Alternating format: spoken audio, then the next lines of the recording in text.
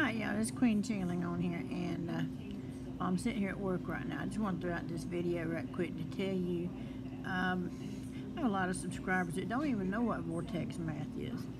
Vortex Math, um, the best way I could describe it would be uh, doubling, doubling of one. Numbers are alive. Um, anyway, hold on, I'm turn the TV down.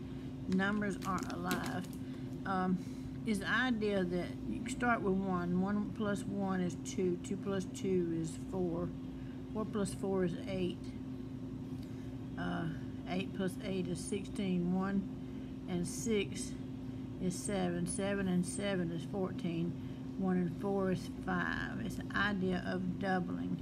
So actually when you double up and you get all the way up to 64, um, at that point, it is believed that in vortex math that the numbers actually revert back to one as one individual.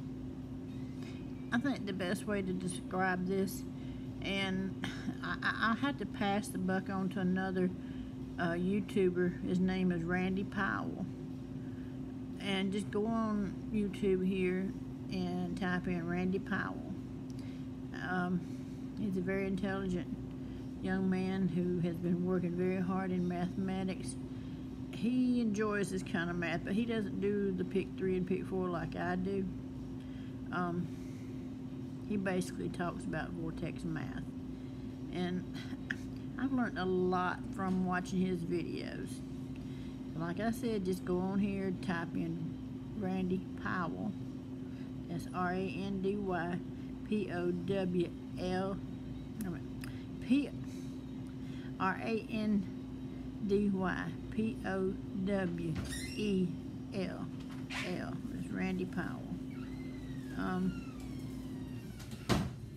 just go in there, type in that, and he will come up with Vortex Math, and all I can tell you that I know.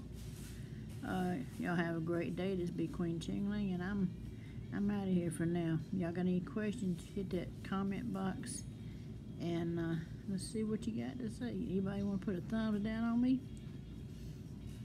Bye, y'all.